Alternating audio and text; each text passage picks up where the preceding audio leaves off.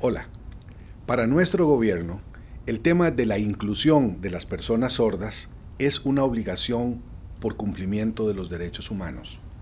No tenemos otra motivación más que esa, permitirle a la población sorda incorporarse a los procesos de formulación y ejecución de política pública, de participación en los programas que el Estado provee, permitiéndoles que sepan cuáles son esos programas, cuáles son las oportunidades que ofrecen y que nos apoyen para construir una Costa Rica más solidaria, una Costa Rica más participativa, una, Costa Rica más democrática.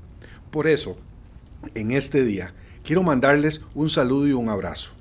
Decirles que estamos muy contentos con estas actividades y que esperamos que se multipliquen muchas veces que hagamos que nuestro país sea un país cada vez más inclusivo, en donde las personas sordas puedan dar cumplimiento a todas sus ilusiones. Muchas felicidades.